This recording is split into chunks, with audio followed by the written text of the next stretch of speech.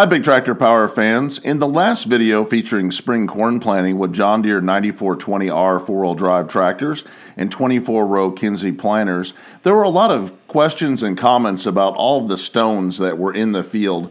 That was just one section of the field that did have some rocks in it. Most of the field was pretty clear. But in southwestern Kentucky, where this video was filmed, there's a lot of lime rock right along the Tennessee border between the two states, and sometimes it gets worked up. And in this video, we're going to take a look at a Schulte Jumbo rock picker as it cleans up the field from stones on the surface.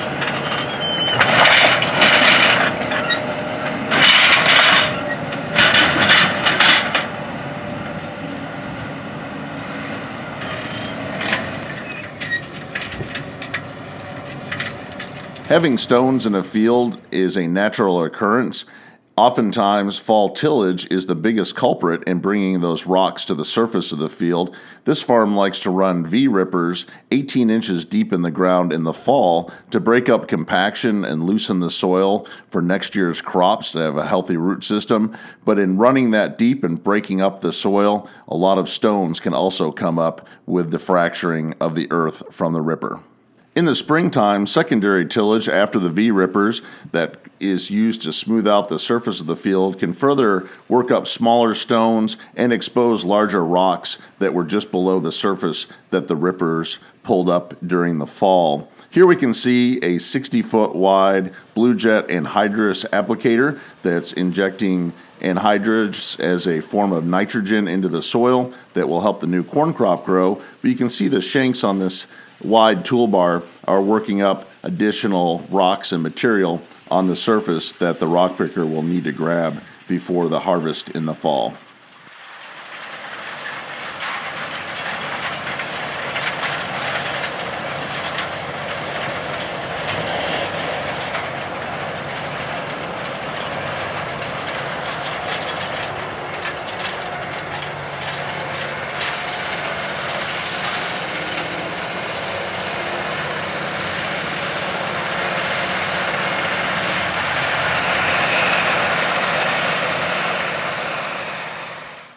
Ideally, you're going to bring your rock picker out to the field and pick up all the stones before the corn planter starts rolling. But sometimes, because of weather pressures and deadlines to get the crop in the ground, the corn planter has to roll despite the rocks.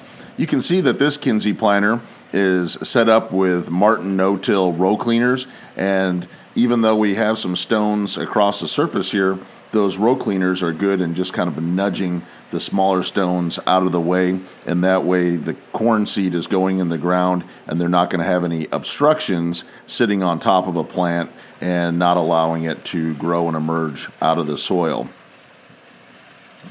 Harvesting in rocking conditions is never an ideal situation, but even if the farm is unable to pick up all the stones after planting, when it comes to harvesting corn, the corn head runs just above the surface of the field at a pretty good height away from the stones, and it's just picking the ears of corn, so the header doesn't have to get right down in the ground to harvest this crop. And you're pretty safe if you do have stones on the surface of the field when it comes to corn harvest.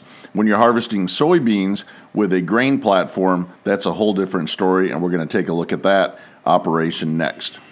In southwestern Kentucky, along the Tennessee border, where lime rock can be prevalent in certain sections of the fields, almost all of the soybeans that are planted follow winter wheat as a second crop. The winter wheat follows corn and is seeded in October and then harvested in June. And almost immediately behind the combines, soybeans are drilled into the wheat straw and stubble. And then in October, those beans are ready to harvest as a second crop from the same field in one year.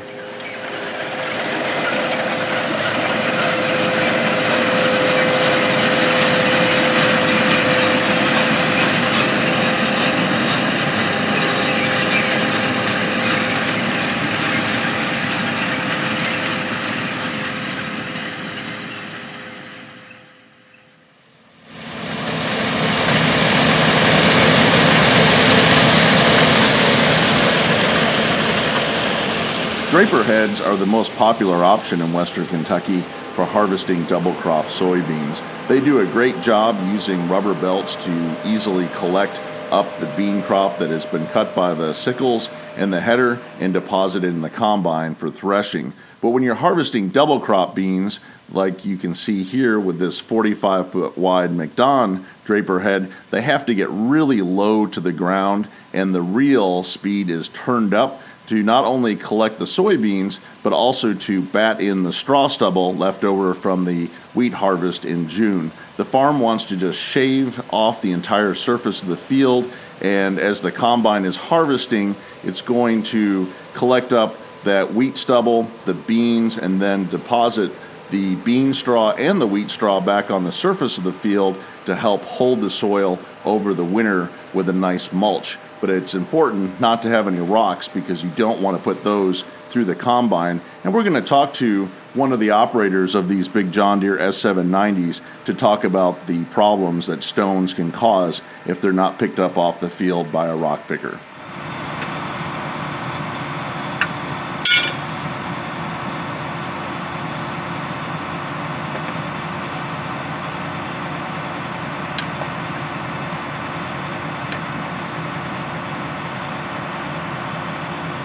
Matt, uh, earlier we were watching you um, change some of the fingers on the drum here in the header, and is that something you have to do daily, or how often do you have to check those? Yeah, I mean, most of the time, we'll, as you can see here, we've got several rock that we pick up in the field, and they, on the new uh, FD 145 headers, have a, uh, a hollow finger in the drum, and uh, they're made to break when they hit rock, so it won't uh, damage the drum itself. Uh, and course you pick up a rock it's going to break a finger so but you know every morning or something I'll go ahead and replace them but it can run without them it's not a big deal. It just doesn't feed quite as well. Uh, so was that a good change to have them break free then or? Yes and no. Uh, it's good that they break and don't damage the drum as bad but also it's not good because every day you got to get put fingers in it so. I mean one rock could take out three or four of them in one one swipe. So. Well, it looks like a pretty good collection of good sized stones and looks like some uh, tree roots, tree roots, and everything else there. So definitely important to watch uh, what's going out there when you're harvesting yeah. and uh, need to pay attention for sure. Important to do this maintenance every day to keep it all running. Exactly. So Matt, we're looking at those fingers and talking about them in the header and how they'll break off if something hits it, but can a rock actually get taken up into the combine? It can. Uh, smaller rocks will. Um, there's a, a rock trap up under the feeder house of the combine here, and it will catch smaller rocks uh, if they end up going through there. Most of the time they stop at the front. Um, it'll slip the clutch and, and it won't allow it to get up in there, but uh, sometimes the smaller ones do get in, and uh, I'm going to empty here. There's probably one or two in here.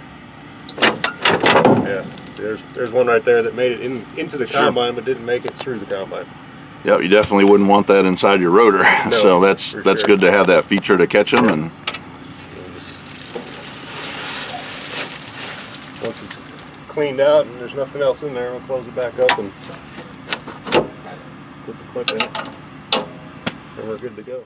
Now that we've reviewed the reasons stones are brought up to the surface of the field through tillage and the importance of collecting those stones ahead of planting a crop so they're not damaging the seeder, and of course protecting the combine during harvest from the damage the stones can create for the harvesting header and the insides of the combine's threshing mechanisms.